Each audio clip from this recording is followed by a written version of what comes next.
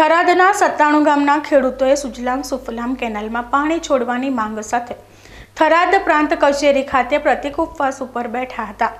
થરાદ કિસાન ખેડૂત સંઘર્ષ સમિતિ દ્વારા થરાદ પ્રાંત અધિકારીને આવેદનપત્ર આપી રજૂઆત કરી હતી કે જો સત્તાણું ગામોને પાણી નહીં મળે તો આવનારી બે હજાર બાવીસની ચૂંટણીનો બહિષ્કાર કરવામાં આવશે. બનાસકાંઠા જિલ્લો એ ખેતી અને પશુપાલન આધારિત જિલ્લો છે. જ્યાં સરહદી વિસ્તારના વીસ ટકા વિસ્તારમાં નર્મદાનું પાણી આપવામાં આવે છે, જ્યારે એંસી ટકા વિસ્તારમાં નર્મદાનું પાણી આવતું નથી, જેના કારણે સરહદી વિસ્તાર ખેડૂતો આકરા ઉનાળાની શરૂઆત થાય તે પહેલાં પાણીની માંગને લઈ ત્રાહિમામ પોકારી ઉઠ્યા છે. સરહદી વિસ્તારના ખેડૂતો દ્વારા પાણીની માંગને લઈને નર્મદા વિભાગમાં અનેક વાર રજૂઆતો કરવામાં આવી છે. પરંતુ તેમની માંગ સંતોષવામાં ન આવતા થરાદ કિસાન સંઘર્ષ સમિતિ દ્વારા થરાદ પ્રાંત કચેરી ખાતે પાણીની માંગ સાથે પ્રતિક ઉપવાસ ઉપર બેઠા હતા. સરહદી થરાદના સત્તાણું ગામના ખેડૂતોએ સુજલામ સુફલામ કેનાલમાં પાણી છોડવા માંગ કરવામાં આવી હતી. ખેડૂતોએ આક્ષેપો સાથે જણાવ્યું હતું કે સરકાર દ્વારા ખેડૂતોની મહામૂલી જમીન લઈ કેનાલો બનાવવામાં આવી છે. પરંતુ હાલમાં આ સુજલામ સુફલામની કેનાલો પાણી વગર કોરીકટ પડી છે. ત્યારે થરાદના સત્તાણું ગામોના એરિયાને નર્મદા કમાન્ડ એરિયામાં સામેલ કરવામાં આવે તેવી ખેડૂતોએ રજૂઆત કરી હતી. ઉપરાંત નર્મદા વિભાગ દ્વારા આગામી પંદર માર્ચથી નર્મદાનું પાણી બંધ કરવા જણાવ્યું છે. રાજ્યના નાણામંત્રી કનુભાઈ દેસાઈ દ્વારા બે દિવસ પહેલાં ગુજરાતનું વર્ષ બે હજાર બાવીસનું બજેટ રજૂ કરવામાં આવ્યું હતું.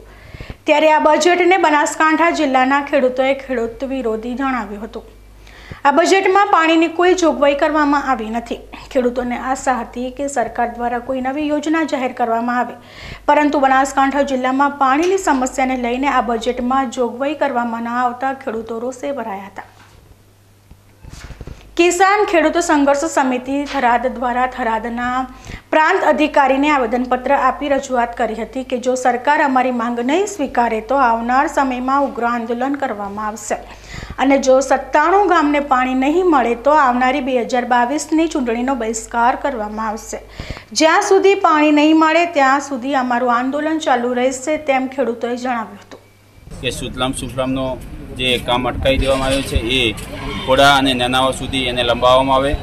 રેલ નદીમાં એનું એક પાણી માટે કમાડ ખોલીને ચોમાસામાં એમાં પાણી રેલ નદીમાં વેવડાવવામાં આવે. અને જે વાર તહેવારે પાણી છોડવામાં આવે, સુતલામ સુફલામમાં અને રાહ સુધી પોકે એના પહેલાં બંધ કરી દેવામાં આવે છે, તો કાયમી એમાં ભરપૂર પાણી વેવડાવવામાં આવે. એના સિવાય જે ગામડા બાકી રહે છે એને કમાન્ડ એરિયામાં સમાવેશ કરવામાં આવે. દરેક તળાવને લિંક કરીને પાણીથી ભરવામાં આવે. આવી રીતે દિવસે ને દિવસે જે મોંઘવારી વધતી જાય છે, ડીઝલના અને ખાતરના અને મોંઘવારીના બિયારણના ભાવ ખેડૂતોને પોસાતા નથી. એવા ટાઈમે હજારથી પંદરસો ફૂટ ઊંડા ભૂગર્ભ જળ ઊંડા ઉતરી ગયા છે, એનો બહાર કાઢવાનો ખર્ચો પણ ખેડૂતોને મોંઘો પડે છે. છેલ્લા બજેટમાં પણ સરકારે માત્ર ને માત્ર અહીંયા લોલીપોપ આપી, ખેડૂતો સાથે મશ્કરી કરી છે, ખેડૂતો અપમાન કર્યું છે. એટલે ના છૂટકે સંઘર્ષ સમિતિ દ્વારા આજે થરાદ કચેરી પ્રાંત કચેરીમાં એક દિવસના પ્રત્યેક ઉપવાસનો કાર્યક્રમ આપવામાં આવ્યો છે.